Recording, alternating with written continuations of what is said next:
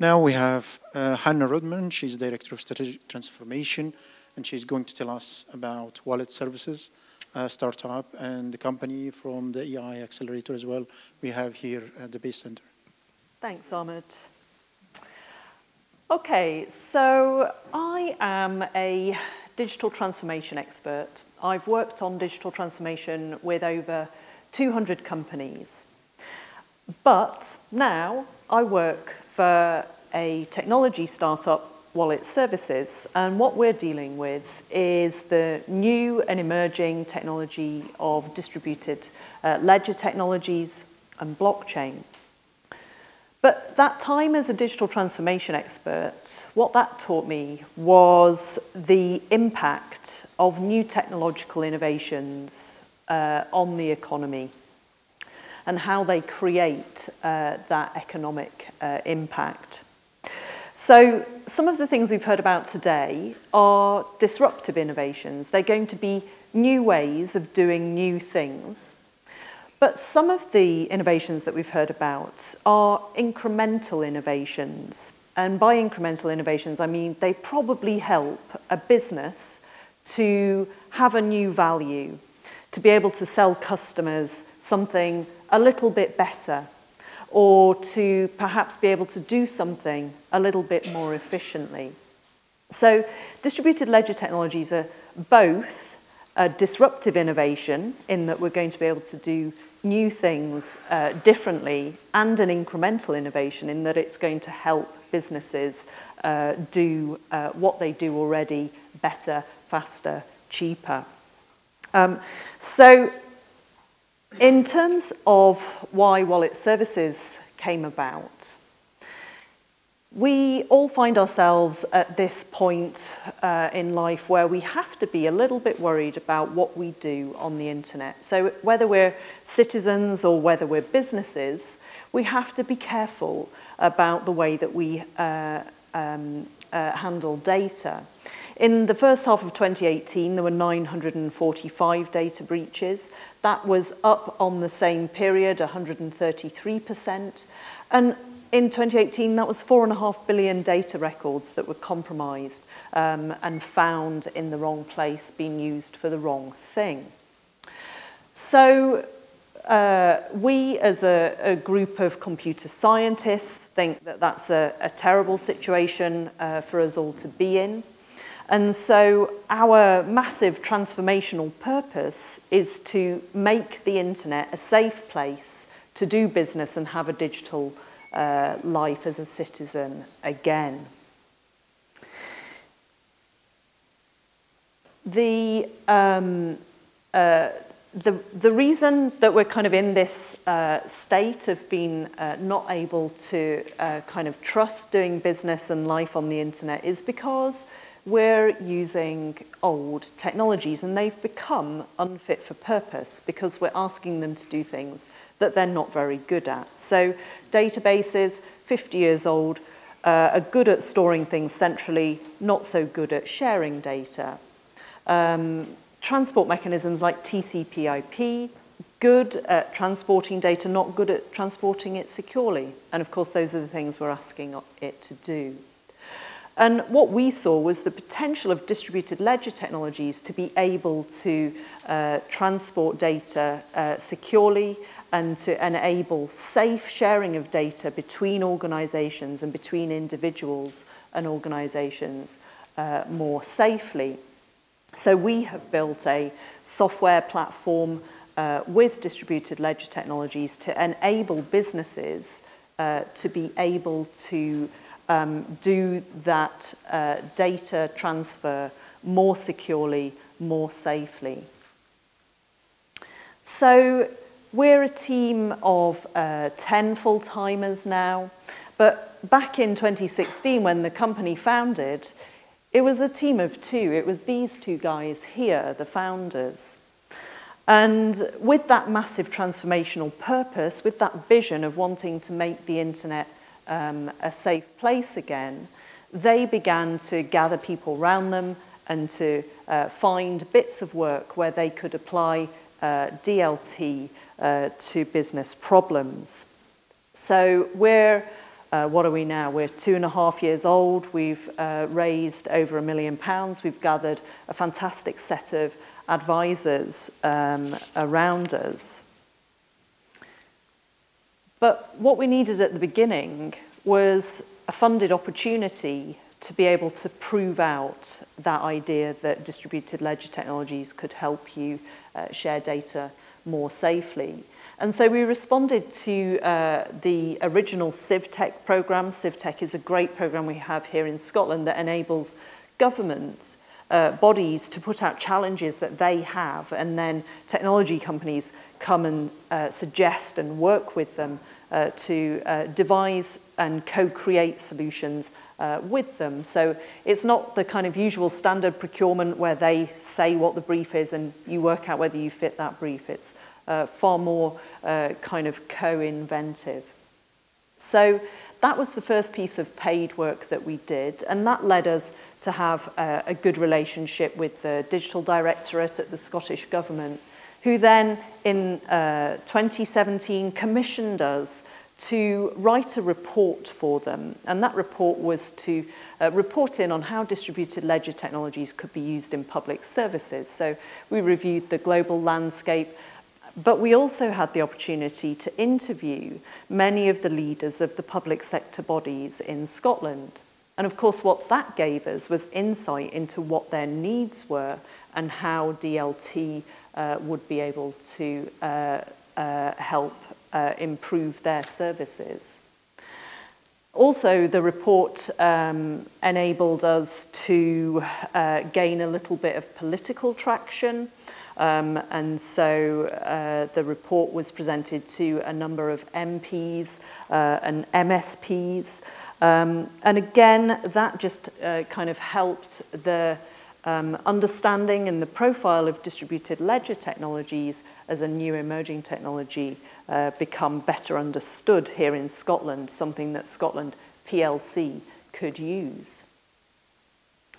And then by the middle of 2018, all of that work resulted in us having a good enough profile that actually uh, the government uh, gave us uh, a, uh, a multi-year contract. So we won that in the middle of uh, 2018. Um, and so the business can begin to scale off the back of that contract. But we needed more than a public sector market. Public sector markets are reliable, but they are slow and take twice as long to uh, do anything, and it probably costs you twice as much uh, to do anything as well. So we needed other sectors that we could work in. And then um, a relationship uh, that we had with the University of Strathclyde uh, resulted in us being asked to do a proof of concept uh, for some oil and gas companies.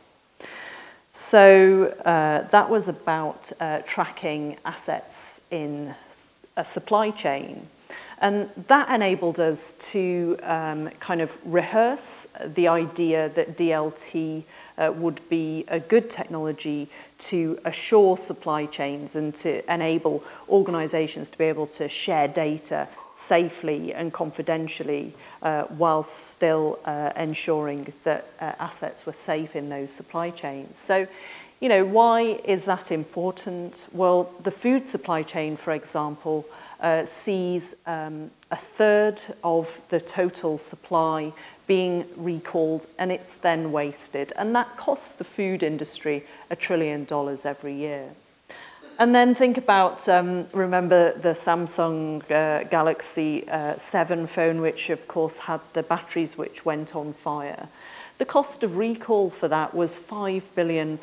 So supply chain um, efficiency and integrity is really important.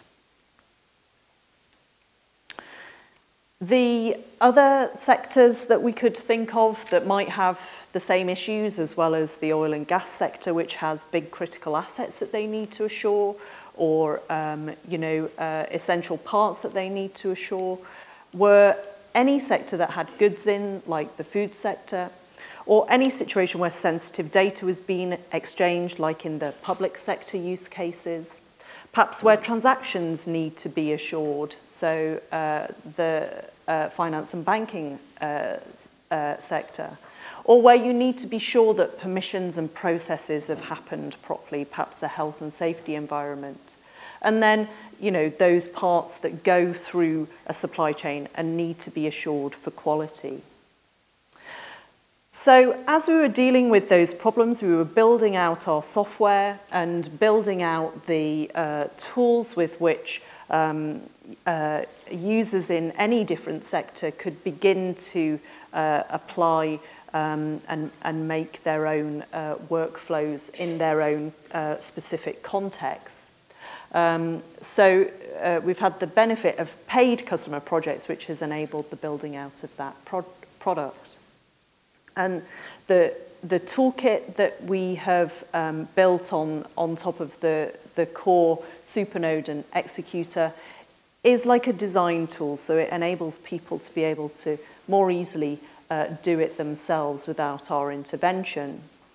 And the toolkit, if it's what you see is what you get, and if it's written in business language, means that you don't even need to be a developer to be able to use it. You might just be at a business analyst level, but you'd still be able to set up your own uh, distributed uh, ledger network and um, blockchain um, uh, data flow. So that's the architecture Uh, that we've developed. Uh, it's to be blockchain network agnostic. And working on those projects has enabled these early um, uh, pilots to move into production. So uh, this year we're uh, working uh, with a uh, bigger oil and gas consortium uh, in order to uh, assure a, a much bigger supply chain. And another thing that has really helped us is be able to think about how we visualize um, distributed uh, ledger technology networks and how you kind of inform people with a, a, a picture that understand that helps them build a mental uh, landscape of what they're doing.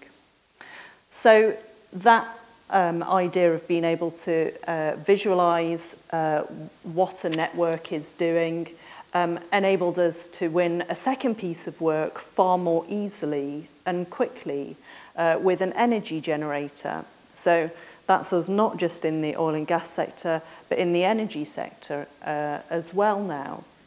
We also have use cases in the food and drink sector, and of course those original use cases in the public sector uh, now being able to uh, be talked about as case studies and, and generate further uh, uh, use cases and um, uh, uh, uh, solve uh, more problems. So uh, we're just working at the moment on um, enabling a patient applying for a disability benefit to have that attest attestation from their GP um, just done once. And then all the benefits agencies can uh, see that that's happened, they trust it, and uh, they can um, uh, release those benefits more quickly.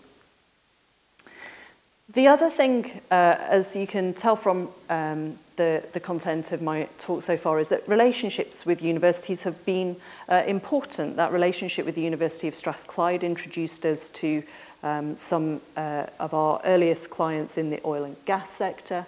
Um, we've been on the WIRA accelerator here at the university for the past six months, and that's introduced us to uh, other um, customers and clients and collaborators of the University of Edinburgh, and it's introduced us to um, uh, investors that the University of Edinburgh uh, knows. And it's introduced us to um, uh, the um, ability to be able to do uh, the research part of our development as well. So we've been able to put some uh, core challenges that we still don't know the answer to uh, around some cryptographic uh, models um, back to master's students for them to help us uh, do that really innovative thinking that will then uh, enable us to do uh, better business. And uh, just a reflection on what it is like to be on an accelerator program. They really help you define your target markets and they really help you define what the value of your product is. So if you have an opportunity to go on an accelerator program, uh, we definitely recommend that and we definitely recommend um, ensuring that you uh, keep uh, relationships with uh, universities at the heart of what you do. That's all I wanted to say. Thank you for letting me share my story. Thanks very much, Hannah.